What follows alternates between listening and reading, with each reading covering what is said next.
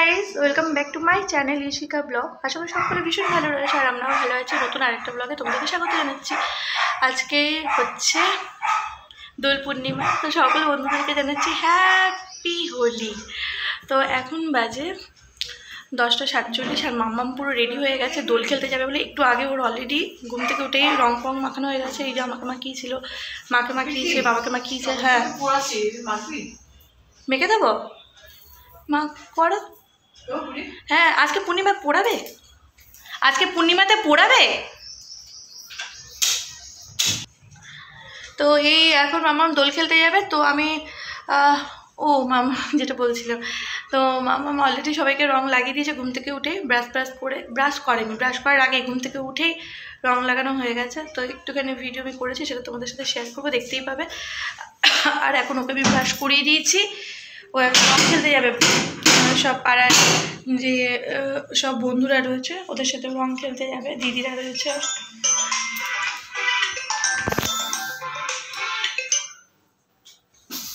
ওমা ফোন এসছে?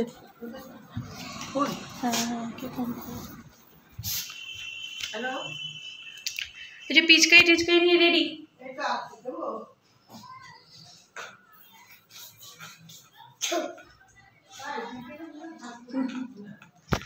তোকে এখন একটুখানি ঝট করে একটু খাইয়ে দেবো। খাইনি তো সকাল থেকে, তো একটুখানি খাইয়ে দেবো, খাইয়ে দাইয়ে, ও, রং খেলতে চলে যাবে। এই যে কালকে দোল দোলের জন্য অলরেডি ও কিছু রং কিনেছে।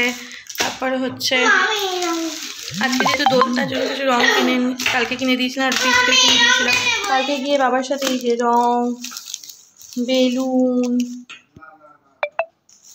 কী কী রং আছে দেখো একটা হলুদ একটা সবুজ একটা কি এটা ব্লু কালার আর এটা রেড কালার ছিল আর এটা হ্যাঁ লাল রঙ আর একটা পিচকারি নিয়েছে দেখাও পিচকারিটা এই যে পিচকারি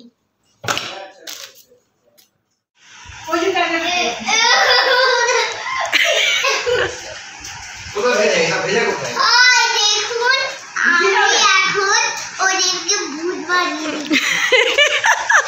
ও দেখো বলে আমি ওদেরকে ভূত বানিয়ে দিচ্ছি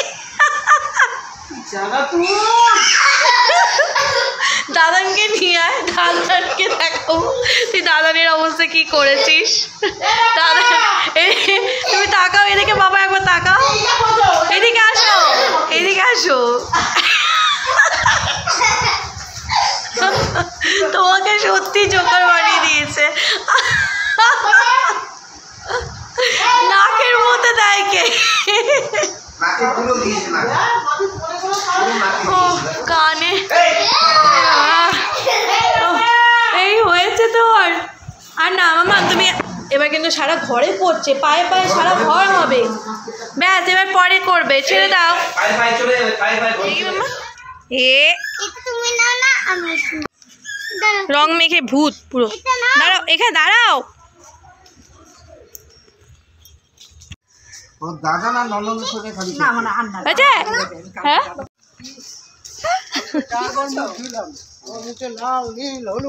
রং খেলতে খেলতে এর মাঝখানে চাকরিতে এসেছিল। চাকরিতে রং লাগাতে এসেছিল সোনামাকে নিয়ে? এটা কে? হ্যাপি হোলি সকাল থেকে দুই ভূত। এই খুললি কেন? আমি তোলেনি তো। এত তোরা ব্যস্ত হয়ে যাস না। এই বোন কাছে আসব এই করব সেই করব আর তোলে না। না তুলেছি আমি ভিডিওটা। আমি তাড়াতাড়ি করে ওরা তো বাচ্চা বেশিক্ষণ থাকে নাকি? হ্যাঁ। এই হয়ে গেছে হয়ে গেছে। তুলে নাও। এই যে। চলো। এই এই বাবা হয়ে গেল। দুই ভূতুর লড়াই। তো অনেকটা টাইম পর আবার আসলাম রং টং খেলে মামাকে স্নান টান করিয়ে নিজেরাও খেয়ে নিলাম। আজকে যেহেতু দোল, তো সেই হিসেবে আমাদের বাড়িতে নিরামিষ রান্নাবান্না হচ্ছে সবই। তো এখন ওই বিকেল চারটে মতো বাজে রেডি হয়ে এখন যাচ্ছি বাড়ির দিকে। বাবা মাকে রং লাগাবো আর মামামু দাদুকে, তারপর ওর দিদুনকে রং লাগাবে। আর আজকে আমার বরের ছুটি নেই, ডিউটি আছে, তাই বর সাথে নেই, নাহলে ও থাকতো।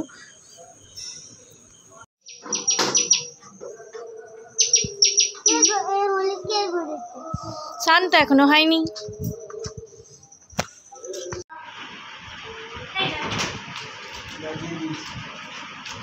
না তুমি দাও একটু রং অল্প করে দেবে দাদাকে।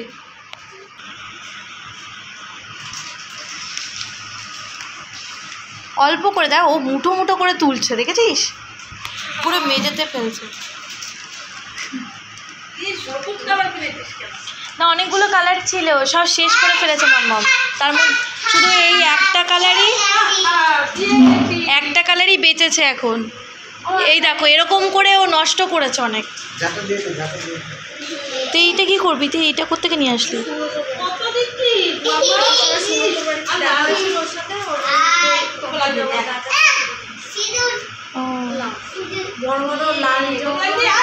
তো বন্ধুরা এই যে এখন আমরা হালিশহর স্টেশনে বসে রয়েছি। বাড়িতে বেরোতে বেরোতে তো সন্ধেই হয়ে গেল দেখতেই পেলে। আর এই যে হালিশহর স্টেশন এখন যাব ট্রেনে করে উম, কাঁচাপাড়া। দিব্যেনুদার বাড়িতে যাব। দিব্যেনুদার বাড়িতে দোল উপলক্ষে গোপালের পুজো হয়। গোপাল যেহেতু রয়েছে তাই গোপালের পুজো হয়। তো সকালবেলায় বলেছিল যে আসতে কিন্তু আর সকাল থেকে সময় পেয়ে উঠিনি তাই যেতে পারিনি। তো এখন তাই চলে আসলাম। দিব্যেন্দুদার বাড়িতে। এখানে সবাইকে একটু রং লাগাবো কিছুক্ষণ সন্ধ্যেটা এখানেই কাটাবো তারপর রাতের দিকে বাড়ি চলে যাব আবার। উম, দিব্যেন্দুদাই আমাকে বাড়িতে দিয়ে আসবে কারণ তখন তো বেরোতে বেরোতে অনেকটা রাত হয়ে যাবে তো সেই জন্য দিব্যেন্দুদাই বলল যে রাত্রেবেলা চিন্তা করতে হবে না আমি তোমাদেরকে বাড়িতে দিয়ে আসব। তা আমি আর পারমিতা দিদাই চলে আসলাম। দিব্যেন্দুদার বাড়িতে। তো আজকে দিব্যেন্দুদার বাড়িতে গোপালের পুজো উপলক্ষে অনেক কিছু রান্না বান্না হয়েছে গোপালকে ভোগ দেওয়া হয়েছে অনেক কিছুই। তো সব কটা মানে আমি তো খেয়েছি, খাওয়ার পরে এখন ভয়েস দিচ্ছি যেহেতু, তাই জন্য বলতে পারব যে কেমন হয়েছিল। সব কটা ভোগের রান্না অসাধারণ হয়েছিল। আর ঠাকুরের ভোগ বলে কথা, ঠাকুরের ভোগে তো জানোই সবসময় ভালোই হয়ে থাকে। তো সত্যি খুব ভালো হয়েছিল, অসাধারণ হয়েছিল। তো ওই ভোগের খিচুড়ি ভোগের খিচুড়ি না, ওটা ওটা হচ্ছে ভুনা খিচুড়ি করেছিল বৌদি। তো ভুনা খিচুড়ি, লাবড়ার তরকারি, পায়েস, সাবুর পায়েস, চালের পায়েস, তারপর হচ্ছে মুগ ডালের ওটাকে কী বলে? মুগ ডালের বরফি সরি নামটা পেটে আসছে, মুখে আসছে না, মুগ ডালের বরফি। তো অনেক কিছু ছিল। তো অনেক কিছু খাওয়া দাওয়া করেছি। ভীষণ ভালো হয়েছিল, দারুণ। তো এখন দেখো, আমরা সবাই এখন আনন্দ করছি। দিব্যেন্দুদারও ডিউটি রয়েছে, তাই জন্য দিব্যেন্দুদাকে তোমরা দেখতে পাচ্ছ না। একটু পরে দিব্যেন্দু যখন আসবে ডিউটি থেকে, তখন তোমাদেরকে দেখাবো। তো এই দেখো, দিব্যেন্দুদা ডিউটি থেকে এসছে। আস্তে আস্তে তাও রাত নটা বেজে গেছে। তো এই আসার পর তারপর দিব্যেন্দুদাকে একটু রং লাগালাম। তারপর দিব্যেন্দুদা, এই দেখো, পারমিতা দিকে এখন রং লাগাচ্ছে। আমাকেও রং লাগানো হয়ে গেছে, আমি সেটা ভিডিও করে উঠতে পারিনি। তো ওই ঘড়িটার টাইমটা তোমরা যদি দেখো, তো ঘড়ির টাইম কিন্তু একদম ভুলভাল, কারণ ঘড়িটার ব্যাটারিটা শেষ হয়ে গেছে। বুঝতে পারছ? তো যাই হোক, এই দেখো সব পুচকুগুলোকে রং লাগানো হচ্ছে। তো সাথে থাকো বন্ধুরা।